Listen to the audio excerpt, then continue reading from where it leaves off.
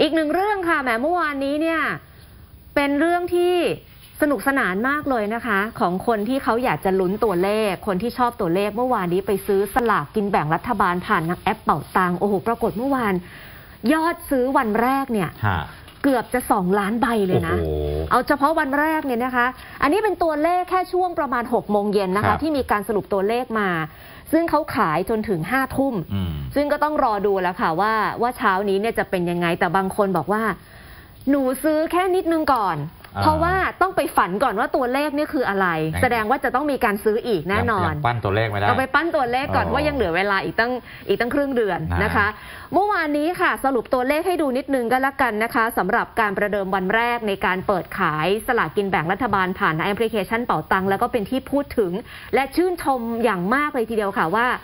รัฐบาลลุงตู่ฮะ แก้ไขปัญหานี้มาถูกทางอืมเพราะว่าประชาชนสามารถจะหาซื้อลอตเตอรี่ในราคา 80 บาทในเลขที่เราต้องการ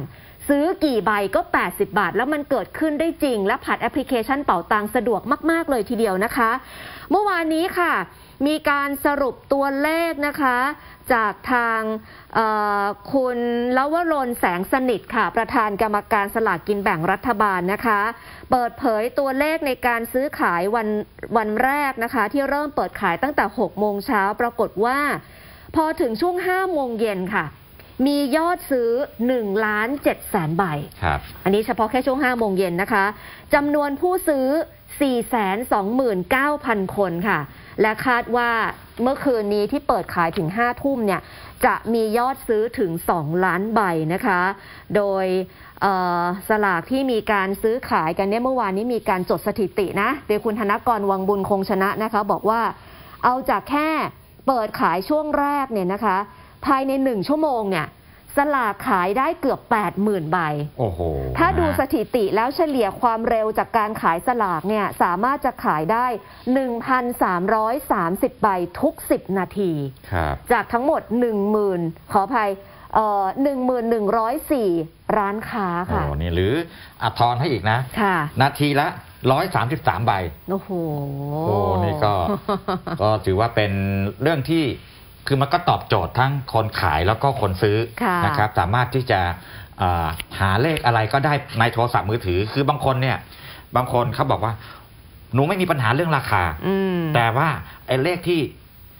อยากได้เนี่ยค่ะไอ้แผงหน้าบ้านไม่มีมันไม่แผงหน้ามีปากซอยไม่มี มันอาจจะไปโผล่อยู่อีกจังหวัดหนึ่งอะก็ไรได้แบบเนี้ยนะครับค่ะแล้วก็โดนโกงราคาโดนอันนี้ อันนี้ราคาก็ไม่มีปัญหาค่ะ80 บาทนะค่ะแล้วเลือกได้เลย เลือกได้จะเลือกแบบ เลือกร้าน เหมือนกับว่าคุณเลือกพิยาเลข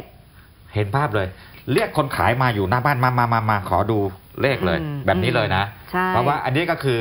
ไม่ใช่กองสลากเขาขายนะ ค่ะ กองสลากมีหน้าที่รวบรวมสลากกินแบ่งที่บรรดาผู้ค้ารายย่อยทั้งหลายนี่ที่ได้โควต้าจากกองสลากเนี่ยมาไว้ในแพลตฟอร์มนี้ ค่ะ ให้ให้เราก็สะดวกกันไปค่ะ นะครับ เมื่อกี้เมื่อช่วงเช้านี่ เรื่องนี้เป็นประเด็นที่คุยกันมากเลยในสถานีผมคิดว่าคงหลาย ๆ ที่ก็จะเป็นแบบนี้แหละอืมนะอืมปรากฏว่าเอ่อทีมงานเล่าให้ฟังว่าค่ะน้องคนหนึ่งในทีมงานช่างเดียวกับรายการเราเนี่ยนะถามซื้อไว้เท่าไหร่หนูซื้อได้แค่สิบใบเอง กดไปสิบใบกดไปสิบคือมันสนุกก็บอกมันสนุก มันง่ายดี มันง่ายค่ะ แล้วอ่ามัมันก็เหมือนกับเออมันเป็นเรื่องใหม่ด้วยนะคะ แต่เป็นเรื่องใหม่ที่ดี สำหรับสังคมไทยในการจะแก้ไขปัญหา เพราะเรื่องนี้มีความพยายามจะแก้ไขปัญหามาทุกยุคทุกสมัยฮะแต่แก้ไม่สำเร็จสักที แล้วรอบนี้เป็นการแก้และเอาเทคโนโลยีเข้ามาช่วยในการแก้ไขด้วยนะคะ แล้วนี่เป็นอีกหนึ่งกรณีนะคุณนันทิยาค่ะที่ยืนยันให้เห็นว่าไอ้นโยบายหรือแนวทางไอ้เรื่องของการไปสู่สังคมดิจิทัลของรัฐบาลที่ทำมาโดยตลอดเนี่ยนะครับมันมันเห็นผลนะอืมอย่างแอปเป่าตังค์แบบเนี้ยวันนี้ค่ะแอปเป่าตังค์นี่กลายเป็นเอ่อ แอปสารพัดนึกแล้วหุ้นแอปเป๋าตังตอนนี้เนี่ยเทรดทองได้ด้วยนะคะอ่าคุณเทรดทองเอ่อเทรดทองแบบเป็นเงินดอลลาร์สหรัฐอะอืมซื้อพันธบัตรก็ได้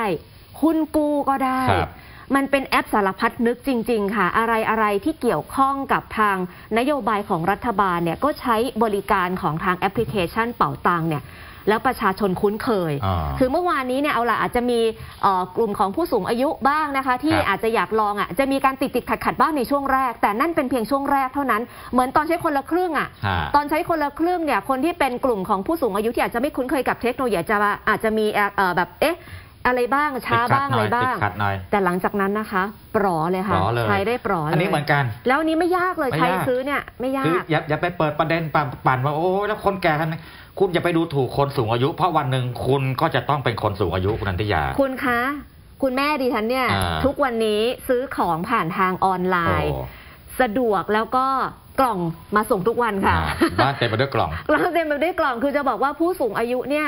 ไม่ได้เป็นอุปสรรคอะไรเลยกับเรื่องของเทคโนโลยีครับขอเพียงแค่ได้ลองฮะเพียงแค่ครั้งสองครั้งหลังจากนั้นเนี่ยรับรองเลยว่าคล่องแน่ แล้วลองนึกดูนะว่าค่ะถ้าวันก่อนหน้านี้วันวานเราไม่เริ่มไอ้ระบบแบบนี้ขึ้นมาเนี่ยนะครับค่ะวันนี้เราก็ยังงมอะไรอยู่หลาย ๆ เรื่องเลยนะครับ วันนี้พอรัฐบาลเริ่มต้นเนี่ยนะเอ่ออันนี้ต้องให้เครดิตเลย ไม่ได้คุยไม่ได้อวย แต่ว่ามันเป็นเรื่องจริงค่ะเริ่มตั้งแต่ระบบพร้อมเพย์ค่ะนะตอนนั้นคนก็ก็บ่นกันอยู่ คนก็ด่ากันเยอะนะโอ๊ยคนไม่มีมือถือจะยังถ้าไงทำยังไงนะครับอ่าวันนี้สะดวกแล้วไม่ต้องค่ะจำเลขบัญชี 13 หลักค่ะนะเอ่อเริ่มปุ๊บ โครงการต่างๆ ผ่านระบบแบบเนี้ยนะอืมผ่านระบบมือถือผ่านระบบเป๋าตังค์ผ่านอะไรต่างๆ ตอนนี้คนเนี่ยเริ่มเข้ามาสู่ระบบนี้มากขึ้นมากขึ้น ก็จะมีความคุ้นเคยกันไป มันก็จะกลายเป็นส่วนหนึ่งของเออชีวิตของเราด้วยนะครับ แต่มีคำเตือนค่ะนะเอ่อเหมือนเครื่องดื่มบำรุงกำลังอะ เขาจะพูดเร็วๆว่าห้ามดื่มกันวันละสองขวดอ่าคนสติมีการคนสังเกตอ่าอันนี้ก็อย่าเพลินจนเกินไปนะอ่านี่นี่คุณผู้ชมก็ฝากเตือนมาว่า คือมันสะดวกอะอืมนะกดปุ้งปุ้งปุ้งเอาซัดไปสิบแล้วปุ้งปุ้งปุ้งซัดไปยี่สิบแล้ว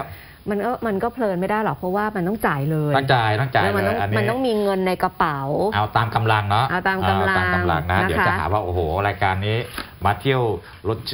เชิญชวนให้คนไป เล่นลอตเตอรี่อะไรกันไม่ใช่ไม่นะไม่อันนี้ไม่ก็แล้วแต่ท่านนะ แต่ว่าค่ะคือมันเป็นความจริงอะนะคือมันเป็นเรื่องจริงที่เราก็มีคนชอบเสี่ยงโชคชอบอะไรกันอยู่ มันมาตั้งนานแล้วก็อย่าไปแบบทำเป็นแบบเอ่อไม่ยอมรับความจริงอืมนะอืมเดี๋ยวจะเผลอพูดคำอะไรไป บอกไม่ยอมรับครับคือมันโลกของความเป็นจริงมันเป็นอย่างนี้ ใครค่ะใครเล่นเล่นใครค่ะใครไม่ชอบก็ไม่ต้องไปเล่นอ่าเล่นก็เอาพอหอมปากหอมคอเพียงแต่ว่านี่เขาก็แก้ไขปัญหาอ่าว่าถ้าประชาชนสนใจ ไม่งั้นเขาจะพิมพ์มาร้อยล้านฉบับเหรออ่าร้อยล้านฉบับนี่ขายหมดนะครับแล้ว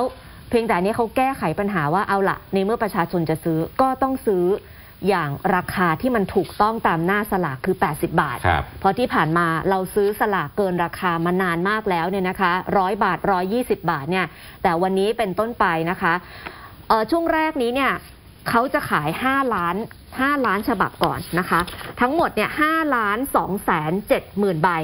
ที่ฮะจะมีการขายในช่วงแรก เดี๋ยวหลังจากนี้เขาจะดู feedback ของประชาชนนะคะ ว่าประชาชนเนี่ยให้ความสนใจมากน้อยแค่ไหนเรื่องระบบระบบเป็นยังไง แล้วหลังจากนี้รับรองว่าเพิ่มขึ้นแน่นอน คือผู้ขายไม่ต้องกังวลฮะคือจำนวนผู้ขายตอนนี้เนี่ย waiting list คือรอที่จะเอามาเข้าเข้ามาขายในระบบที่ลงทะเบียนเอาไว้เนี่ยกี่หมื่นคนปนะระมาณเจ็ดหมื่นเจ็ดหมื่นคน เหลือแค่ว่า ถ้าผู้ซื้อให้การตอบรับดี หลังจากนี้ปริมาณของสลากจะเข้ามาขายในออนไลน์มากยิ่งขึ้นค่ะอืมนะเอ๊ะแล้วคนที่อภิปรายบอกว่าโอ้อยู่มา 8 ปีนี่ประเทศมีถอยหลังลงทุกด้านเลยเนี่ยอย่างนี้เขาเรียกการถอยหลังไหมอย่าให้เห็นว่าไปซื้อสลากในแอปพลิเคชันนะ ผมเนี่ยไม่สนไอ้เรื่องพวกนี้ผมไม่ค่อยซีเรียสหรอกคุณนันทยาค่ะผมกังวลอยู่เรื่องเดียว เรื่องอะไรนะเนี่ยข่าวเนี้ยนะ